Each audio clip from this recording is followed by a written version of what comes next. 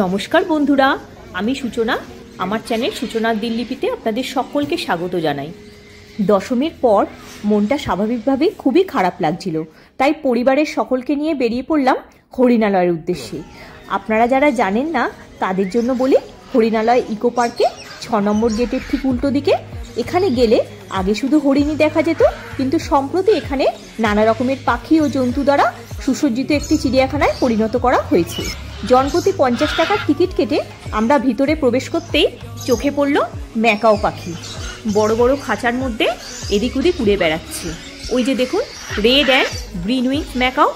ওই যে আওয়াজ করে ডাকছে। শুনতে পাচ্ছেন আপনারা? কি সুন্দর যে লাগছে বলে বোঝাতে পারব না। আমার ছেলে তো দারুণ খুশি এত কালারের ম্যাকাও দেখে। আর ওই কচি কাচাগুলো খালি কলকল করছে। তাদের সামনে এত বড় বড় ম্যাকাও দেখতে পেয়ে। এদিকের কেজগুলোতে খালি ম্যাকাও পাখিই রাখা আছে। চারিদিকে খালি ম্যাকাও, নানা কালারের। আর ওই যে দেখুন, হাঁসগুলো দুধের মতো সাদা। কি সুন্দর দেখতে লাগছে। পড়ন্ত বিকেলে যেন আলাপচারিতায় ব্যস্ত।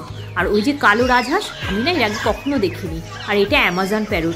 গায়ের রংটা দেখুন, মনে হচ্ছে প্রকৃতিকে সুন্দরভাবে ওকে রাঙিয়ে তুলেছে। এর থেকে চোখ যেন সরাতেই ইচ্ছা করছিল না। আর একটু এগিয়ে গেলাম, দেখতে পেলাম দুটো জিরাফ।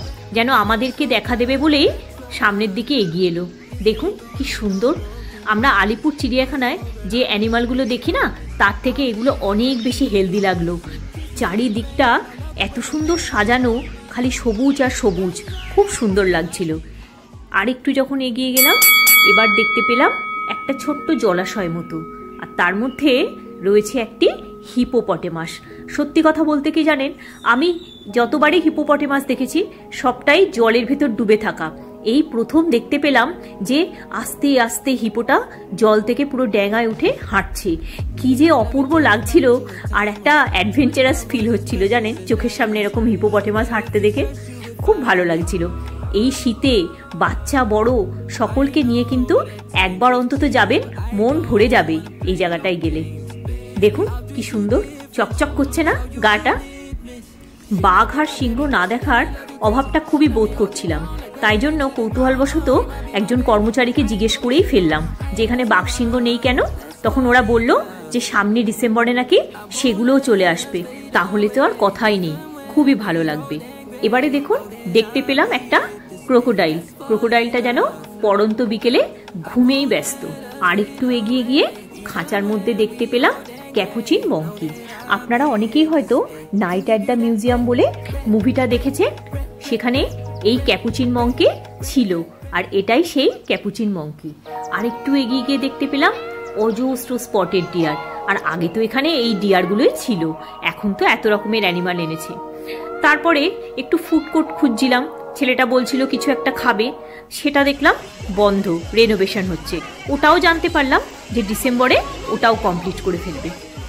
এবার আরেকটু হাঁটতে হাঁটতে গিয়ে দেখতে পেলাম মারমুসিট আমি এর আগে এই অ্যানিমালটা কিন্তু কখনো দেখিনি। বেশ কয়েকটা রাখা আছে, ভালোই লাগছিল দেখতে।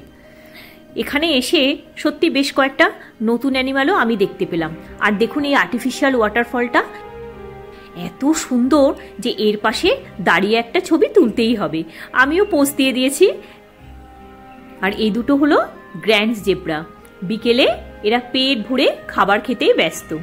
দাঁড়িয়ে দাঁড়িয়ে কিছুক্ষণ বেশ উপভোগ করলাম। এরপর দেখতে পেলাম রেড টেল্ড মঙ্কি এটাও আমার কাছে বেশ নতুন লাগল। মঙ্কিগুলো নিজেদের মতো খেলা করছিল, ওদের খাঁচার সামনে দাঁড়িয়ে একটু অপেক্ষা করলাম। তারপর আমাদের বেরোনোর সময় হয়ে গেল। যেটুকু সময় ছিলাম, সত্যি খুব উপভোগ করলাম। এরপর আমরা গেলাম আমাদের ভারী পছন্দের জায়গা লেকমলের বার্বিকিউ নেশানে। এখানে আমরা ডিনারের জন্য গিয়েছিলাম। ভেজ নন ভেজ নানা রকমের কাবাব তো আছেই।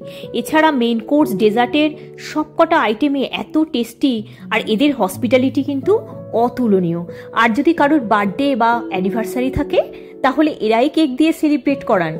এত ভালো লাগে যে কি বলব? বেশ কয়েকবার বার্থডে আর অ্যানিভার্সারি সেলিব্রেশন আমরা এখানে করেছি। আর হ্যাঁ এখানে কিন্তু ফুচকা, পাপড়ি চাট, মকটেলস সব রকমের আয়োজন আছে। সেদিন পুজো স্পেশাল বাঙালি খাবারের আয়োজন ছিল। চিংড়ি মাছের মালাইকারি, কাতলা কালিয়া চিকেন কষা, ছানার ডালনা, ধোকার ডালনা, কি নেই? প্লেন রাইস ডাল মাখনি। আমার আবার ভেজটাই বেশি ভালো লাগে। তবে নানা রকমের স্যালাডও ছিল এখানে। আর ছিল কলকাতা স্টাইল চিকেন বিরিয়ানি। এটাও কিন্তু খুবই খেতে ভালো লেগেছিল। আর সাথে ছিল মাটন কষা, নান সব কিছুই অত্যন্ত সুস্বাদু ছিল। নানা রকম ডেজার্টের মধ্যে এদের স্পেশালিটি হচ্ছে অঙ্গুরি গোলাপ জামুন আর পান কুলফি। খেতে খেতেই আমরা ঠিক করে ফেললাম যে এখন বাড়ি না ফিরে একটু ঠাকুর দেখে ফিরি। অযোধ্যার রাম মন্দিরের অনুকরণে তৈরি সন্তোষ মিত্র স্কোয়ারে পুজোটা দেখতে আমরা চলে গিয়েছিলাম। ওখানে গিয়ে প্যান্ডেল দেখে তো অভিভূত হয়ে গেছি। প্যান্ডেলটাকে ক্যামেরাবন্দি করে প্রতিমা দর্শনের জন্য এগিয়ে গিয়ে লাইনটা দেখে আর দাঁড়াতে ইচ্ছা করল না। কখন যে প্রতিমা দেখতে পাবো তার কোনো ঠিক নেই। তাই পায়ে ধুলো লাগিয়ে চলে এসেছিলাম। আসছে বছর আবার হবে, মা। ভিডিওটা যদি ভালো লেগে থাকে, একটা লাইক দিয়ে চ্যানেলটা সাবস্ক্রাইব করে পাশে থাকার অনুরোধ রইল। সবাই খুব ভালো থাকবেন, সুস্থ থাকবেন। ধন্যবাদ।